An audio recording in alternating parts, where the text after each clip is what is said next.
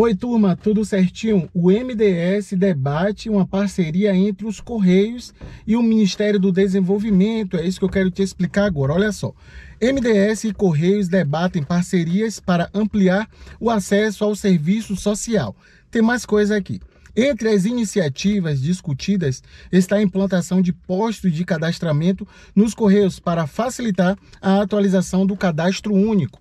Bom, será que a gente vai ter o mesmo tratamento do CRAS dentro dos Correios? Será que é possível realizar essa parceria? Bom, eu quero adiantar para você que sim, pode sim existir essa parceria, até porque existe o sistema do cadastro de pessoas físicas, né, o tal CPF, que está dentro dos Correios e assim é fácil de gerir ou gerenciar toda essa manutenção de recadastramento, atualização e até mesmo ingresso para o programa Bolsa Família, principalmente Bolsa Família, né? Aqui fala diretamente ao cadastro único, mas a gente sabe que pode ser ampliado. Mas a pergunta que não quer calar é isso: será que a gente vai ter o mesmo tratamento ou o mesmo tratamento que você recebe quando você vai nos correios postar um item, né? Será que você é bem tratado dentro dos Correios? Será que vai ter a mesma cordialidade de alguns CRAs?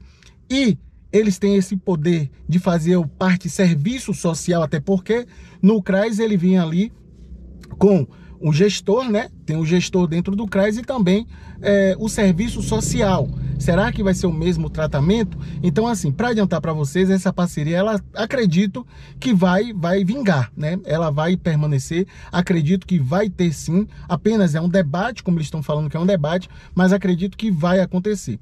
Até porque vai ser, para um lado, vai ser muito bom, porque vai ampliar o serviço e assim vai desobrecarregar o CRAS, né? Então, com a questão das atualizações, pode ter um processo mais rápido. Mas conte aí, como é os Correios do seu município?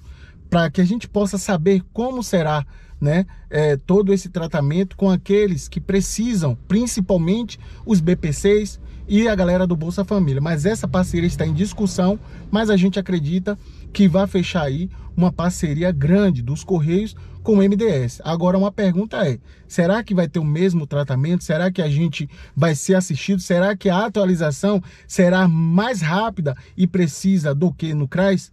Então, eu trago aqui essa notícia para vocês e mais novidade a gente vai trazer ao longo do dia aí. Beleza, turma? Um forte abraço, que Deus abençoe sua vida em nome de Jesus e valeu!